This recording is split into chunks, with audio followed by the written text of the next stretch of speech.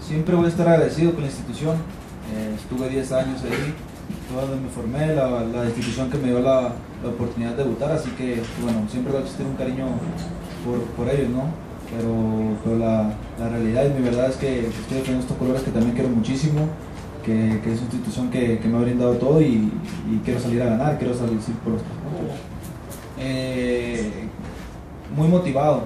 Eh, sí es cierto que vienen de dos, de dos golpes fuertes.